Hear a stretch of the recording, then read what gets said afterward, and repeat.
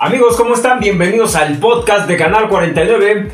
Eh, una semana más, pero semana 1 de la NFL, que el día de hoy va a concluir con el juego entre los Cuervos y los Raiders. Em, primera victoria, ¿no? Esa es la noticia eh, importante del día de hoy.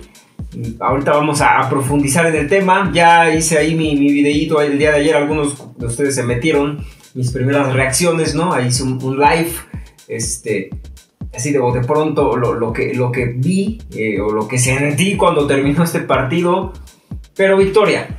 Al final del día era importante y, lo más importante siempre es acumular, Ws y ganamos, ¿no? Este, antes de que se me olvide, eh, saludos a, mm, la banda del Niners Room México que al parecer ya después de tres años, tres años, perdón, ya les dieron su reconocimiento como chapter oficial, ¿no? Me mandó por ahí eh, mensaje, este, y la, bueno, la gente, se me va el nombre ahorita, este, David, creo que te llamas Olivares, este, del Niners Room México, que dice, me compartió su noticia de que ya los oficializaron por ahí, el chapter, entonces, este, pues les mando un abrazote, felicidades carnales, qué bueno que, que sigue creciendo la familia Niner por todos lados. Pero bueno, eh, este, entrando en materia. Difícil, difícil de sacar conclusiones, no, de, ya eh, en, miras a futuro eh, en la semana 1, ¿no? A lo mejor de, inicio caemos en muchas este, declaraciones y se nos calienta la cabeza y se nos calienta la lengua y decimos un montón de cosas y escribimos y posteamos muchas cosas también al final es una victoria, les, repito, y creo que eso es lo importante. Iniciar ganando es importante. ¿Cómo se gana? Híjole, íbamos bien, ahora sí que íbamos bien. Y, quién sabe qué demonios pasó en los últimos dos minutos, porque lo de San Francisco parece la constante ya en la era Shanahan. En los últimos minutos siempre empezar a dejar ir eh, los partidos y parece que todo se vuelve un caos y parece que todos se conectan para empezar a cometer errores y para desconcentraciones y para malas decisiones, etcétera, etcétera, etcétera. El partido, como todos lo pudimos ver, estaba dominado, estaba controlado. San Francisco tuvo una buena mitad, una buena primera mitad, no tampoco muy buena, pero estábamos controlando a los Leones eh, que, empezaron, ahora sí que empezaron muy Leones. No se puso 7-7 el partido, pero conforme fue avanzando el juego, pues San Francisco empezó a, empezó a controlarlo y pues los Leones prácticamente ya estaban maniatados, ¿no? A dos minutos de que terminara el partido íbamos ganando ya 41 a, 17 y de repente quién sabe qué pasó y terminó 41-33, ¿no? A 8 puntos los Leones de empatarnos el juego y mandarnos a tiempo extra. Hay un montón de cosas que, que, hablar, ¿no? Voy a tratar de empezar a desmenuzar, ¿no? Desde mi perspectiva, eh, lo que estuve viendo ya, revisando números, revisando estadísticas, y empezamos con la ofensiva. Creo que Garoppolo hace un buen juego, ¿no? Eh, estaba viendo yo los números de todos los, los corebacks de nuestra división, ¿no? Russell Wilson, Matthew Stafford, Kyler Murray, Jimmy Garoppolo. Jimmy Garoppolo, 5 o 6 yarditas por debajo de Stafford, pero fue, tuvo inclusive más yardas que Wilson y que Murray.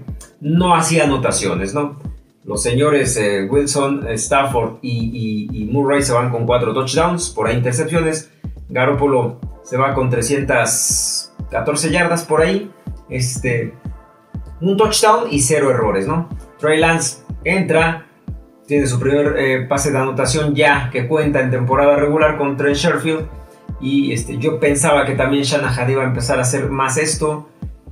Este, y esa parte que hizo Shanahan con Lance de, de meterlo básicamente a correr, no me gustó absolutamente nada. Para lo que había mostrado en pretemporada me pareció que fueron ideas muy pobres en el planteamiento de Shanahan. Mejor no lo metes, ¿no? Si lo vas a meter a correr y lo que quieres es que se desarrolle como coreback de bolsa, pues no le vi el caso que lo metiera a, correr. Pero bueno, tache ahí me parece a mí lo de, lo de Shanahan haciendo esto con Lance. Eh, lo bien, les, repito, me parece que da un juego bueno, un buen juego, ¿no? 300 y tantas yardas, un touchdown, no, sin errores. Como ya sabemos, Garoppolo, manejador del partido, sin embargo, más de 300 yardas ya te habla de un buen partido. El cuerpo de corredores bien también, ¿no? Este joven Elijah Mitchell, que yo pensé que no iba a jugar, que no lo iban a ocupar tanto, que lo iban a poner más a regresar patadas, pues eh, tiene la oportunidad ante la lesión de Mustard, que ahorita hablamos de eso también, eh, y se va con más de 100 yardas también de Laia Mitchell. por ahí Hasty 3 yardas, pero se lleva un touchdown. También Hasty apareciendo. Este, y, pues ahí creo que el, ataque terrestre es sólido, más de 100 yardas en general. se esperaba que fuera la base del ataque de los 49. Y receptores, Divo Samuel da un juegazo. Casi 200 yardas. Eh, un touchdown de ese de 80 yardas, ¿no? Que, el pase queda ahí en el nombre interno, se lo lleva y se los lleva todos por velocidad. Bien, Divo. Bien en general, no lo vamos a crucificar por ese último error, afortunadamente no costó. Pero esa manchita eh, o ese, arrocito negro le mancha su actuación redonda, ¿no? Sin embargo, Divo da un juegazo y estaba lloviendo que, eh, desde 2012 no teníamos una actuación en donde, tuviéramos un, mariscal de campo con 300 yardas, un corredor con 100 yardas y un receptor con 100 yardas. Desde el 2012 que fue Gore, Crabtree y Alex Smith, mm, no había logrado esto los 49 en un partido y me parece que eso habla de una actuación sólida a la ofensiva buena parte del juego, ¿no? Después Shanahan vuelve a abandonar eh, la idea o parece que pierde y me extraña porque ya tiene a McDaniel eh, eh, ahí ayudándole y me extraña que de repente faltando cuarto y medio pues Shanahan decide abandonar este, este sentido matón, este sentido de, de, seguir haciéndole daño al rival y no importa si les metes 50 puntos, ¿no? Pero Shanahan ya se vuelve otra vez nada más manejador, manejador del partido, controlar la situación, bajarle al reloj y se olvida que tiene un rival enfrente que va a seguir peleando y los Leones lo hicieron y los Leones nos metieron un sustote de aquellos en la semana 1, ¿no? Em, la línea ofensiva bien, salvo esa primera pifia ahí de entendimiento entre, entre Alex Mack y, Jimmy Garoppolo. La línea ofensiva me parece que hace un buen trabajo. Daniel Bronskill cumpliendo, ¿no? Poniéndose al nivel de los, de los de los demás, sí tampoco se enfrentó a una gran defensiva de los Leones, a una gran frontal.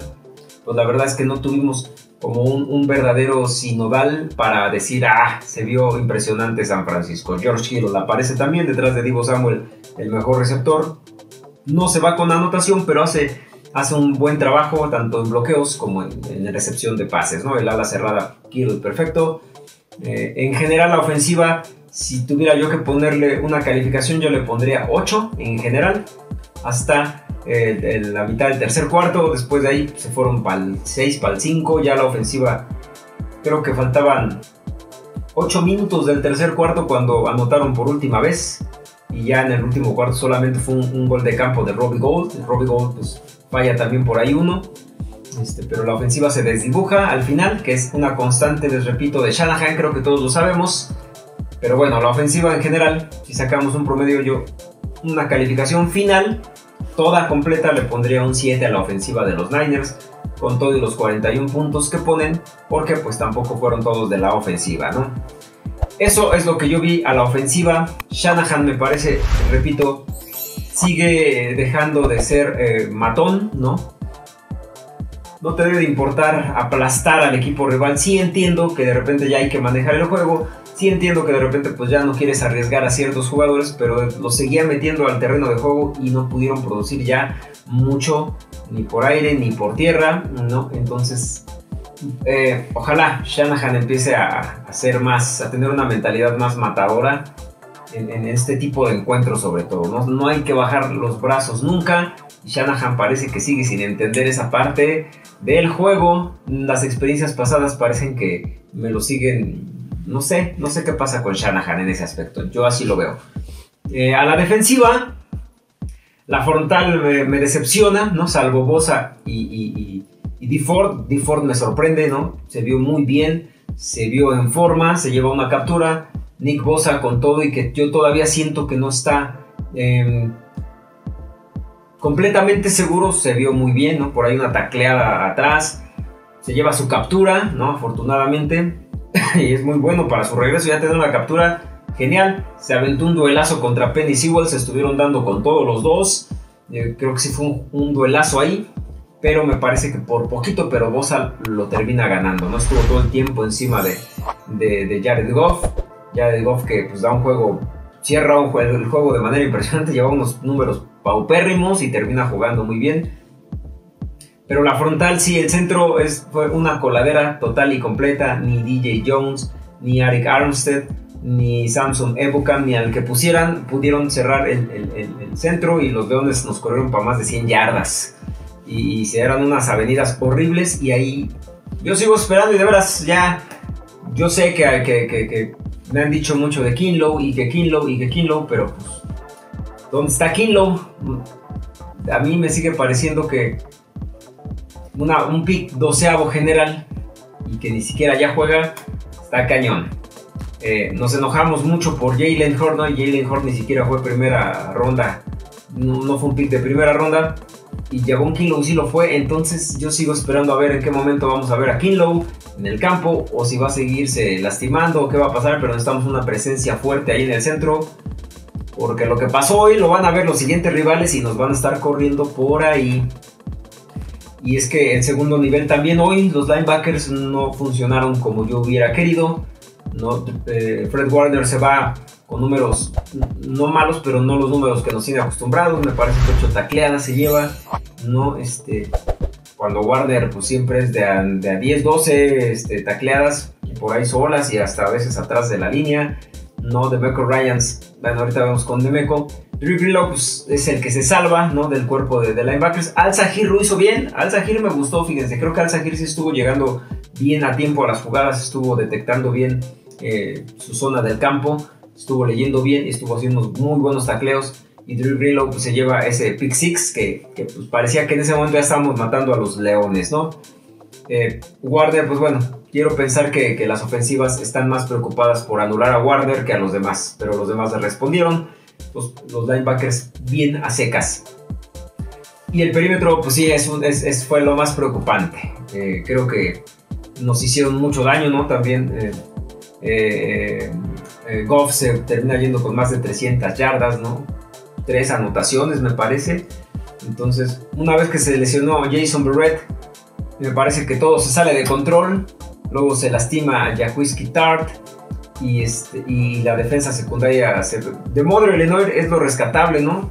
Estaba leyendo que tuvo 55 snaps, de esas 55 snaps eh, solamente le lanzaron, solamente le completaron un pase para 3 yardas. De Mother Illinois este novato está empezando a, a verse bien, qué bueno, en buena hora, y no sé qué va a pasar con el otro esquinero. Josh Norman será la opción, tendrá que acelerar su proceso para incorporarse la próxima semana Emmanuel Mosley regresará y será lo que necesitamos. O de plano irán por, por, Richard Sherman, ¿no? Se le preguntó en la conferencia de prensa a Shanahan y dijo que los 49 no han cerrado la posibilidad y nunca van a cerrar la posibilidad de traer de regreso a Richard Sherman, lo cual me parece que pues sí habla de que ya estamos en un momento un poquito desesperado con el perímetro esta lesión de Jason Barrett nos viene a poner en toda la torre porque era nuestra esquina sólida y al parecer, no al parecer ya está fuera todo el año, ¿no? Es, un ACL de la rodilla y pues ya chafió. Barrett fuera todo el año, posiblemente mañana o al ratito o ya se confirmó, pero lo de Barrett pues lo va a dejar fuera un ratote. Em, entonces pues, vamos a ver qué pasa.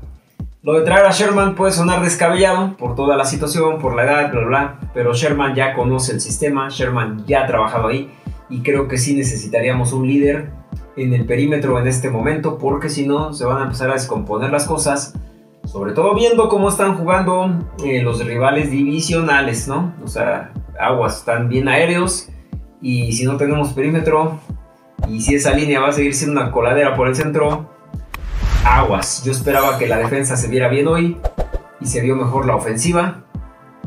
No completamente, pero si las comparamos, creo que se vio mejor la, la ofensiva. Eh, a la defensa le pondría yo un 6, 6 y medio. La verdad es que dejó mucho, mucho que desear. Yo esperaba que, que dominaran mucho más y sin embargo, pues no fue así, ¿no?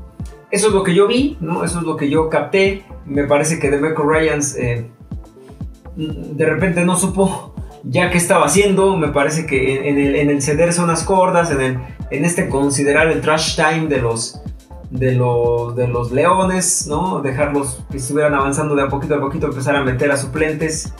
Me parece que lo hizo incorrecto y me parece que eh, era la, la, estrategia en diferentes jugadas, lo novatean, ¿no? sobre todo ese touchdown donde manda todas las cargas, pase pantalla y solito se fue, ¿no? Este es me parece el corredor de los Leones.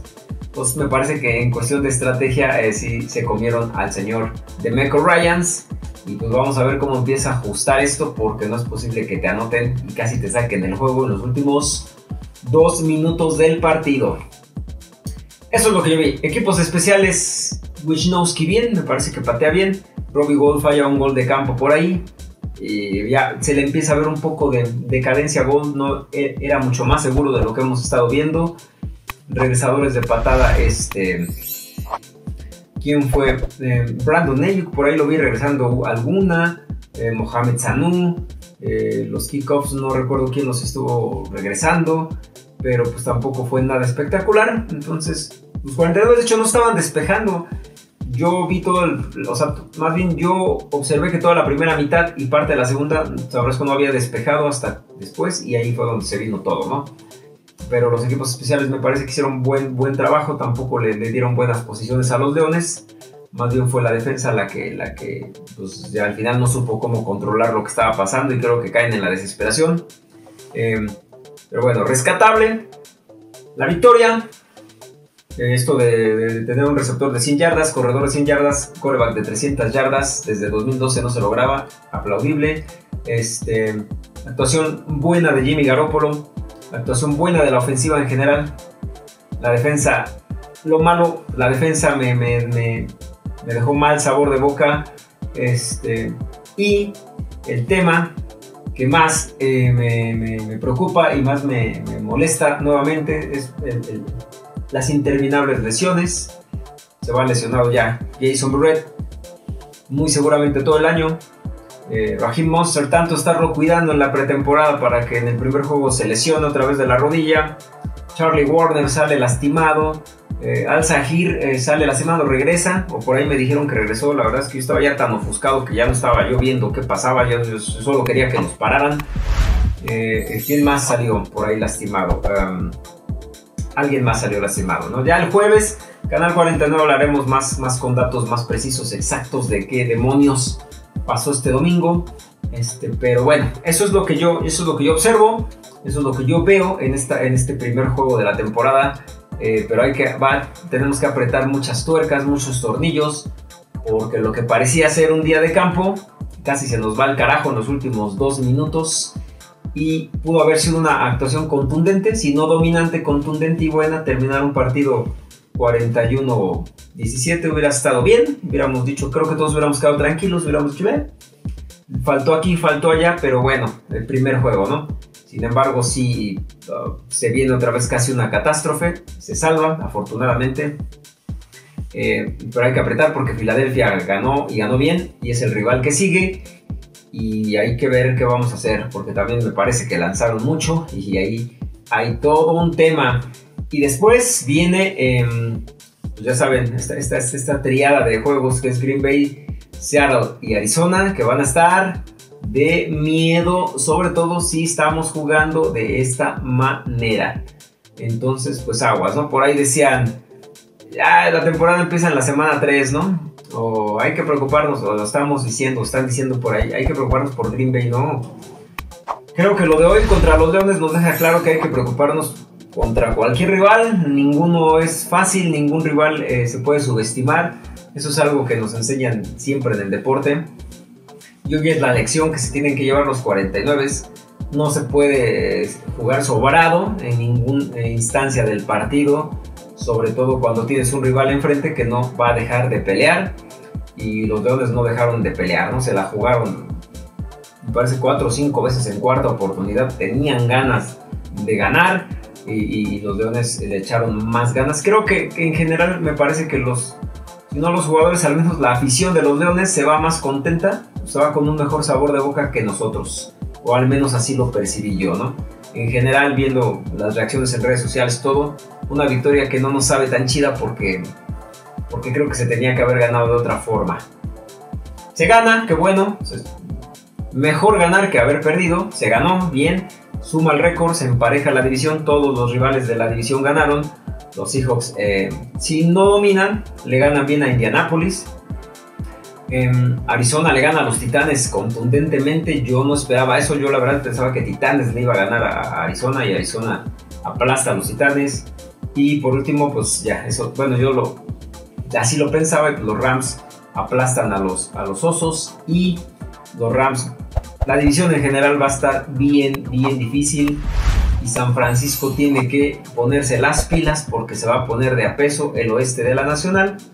Entonces todos terminamos semana 1 con récord de un ganado y cero perdidos. Nada para nadie todavía, eh, pero hay que seguir peleando y hay que seguirle echando ganas porque esto se va a poner chido. Y vamos a ver qué noticias se van dando eh, con el perímetro. Algo se tiene que hacer, si no es en esta semana, todavía pensando en que sería un error, pero que se subestime un poco a Filadelfia y se crea que con lo que hay ahorita pues, se les puede jugar. Igual no sale, igual no. Pero entre esta y la siguiente semana algo tiene que pasar en, el perímetro de San Francisco y urge que llegue, eh, que regrese el señor eh, Jabón Kinlow porque el centro de la línea fue una completa coladera el día de hoy y no puede estar pasando eso, señores, no puede pasar porque si nos van a estar corriendo así, aguas. Hay, hay equipos que corren mucho mejor el balón que los Leones, definitivamente. Hay defensas mucho más eh, peligrosas que la de los Leones y lo de San Francisco hoy sí fue un poco, un poquito decepcionante. No vamos a entrar en pánico, no vamos a empezar con que corran a, a. Por ahí estaba ya viendo que, ya quieren, o sea, ya sí, ya, ya, ya, hay, gente que de plano no soporta a Garoppolo por alguna extraña razón, aunque juegue bien. Pero no podemos semana uno ya empezarnos a pelear y empezar a decir que ya hay que correr a este, ya hay que correr a que no. Todos empiezan flojitos, todos los equipos empiezan flojos. Recuerden también que por ahí no importa cómo empiezas, sino cómo terminas. Y lo importante es que nos llevamos la W. Pero bueno, es, es, lo que quería hablar con ustedes ahorita, ¿no? Ya en este, ya más tranquilo, ya más con la cabeza un poquito más clara, eh, viendo más números, viendo más cosas. Entonces, pues ganamos, eso es lo importante. Vientos, ganar es ganar. No importa cómo se jugó bonito tal vez, pero se ganó. Eh, pues bueno, ya saben que este podcast lo pueden escuchar en iBox y en Spotify.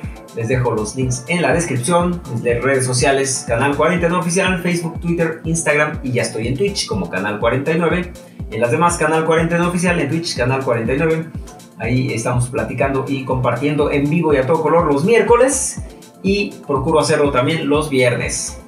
El sorteo pues ya se llevó a cabo el jueves pasado, ya salieron los ganadores, ya me comuniqué con ellos, ya acordamos em, cómo van a querer sus regalos y ya eh, espero que no tarde mucho en hacer las entregas. Por ahí a ver si pueden ser de manera personal y nos sacaremos fotitos y todo, ¿no? Con los, con los felices y afortunados y ganadores, a los cuales también les agradezco muchísimo su apoyo a ellos y a todos ustedes, a todos los que estuvieron en la transmisión y a todos los que siguen apoyando al canal. Eh, ¿Qué más? ¿Qué más? Avisos parroquiales. pues creo que es todo, señores. Eh, victoria, hay que estar tranquilos, se ganó, hay que estar contentos. Eh, y pues bueno, nos vemos el jueves ya para platicar más a fondo de todo esto, ver números más reales y analizar a las Águilas de Filadelfia, nuestro siguiente rival, que yo creo que también va a estar bueno, va a estar muy bueno ese juego. Pero bueno, entonces nos vemos el jueves, ya saben, el miércoles en Twitch nos vemos, el miércoles voy a estar en Twitch, el jueves nos vemos acá en Canal 49, el viernes espero yo poder hacer Twitch, no, este viernes no voy a poder hacer eh, emisión en Twitch, pero bueno, nos vemos el miércoles en Twitch, el jueves Canal 49, sábado simulación extraída de Twitch y, este, y el domingo pues ya saben, apoyar a los Niners nuevamente 12 del día. Y bueno, hasta aquí ya le paro. Déjenme ahí en, la caja de comentarios ustedes cómo vieron, qué piensan, qué creen, que, cómo, cómo, cómo evalúan ofensiva, defensiva y todo lo demás. Los leo a todos. Les mando un abrazote, mucha buena vibra. Go Niners!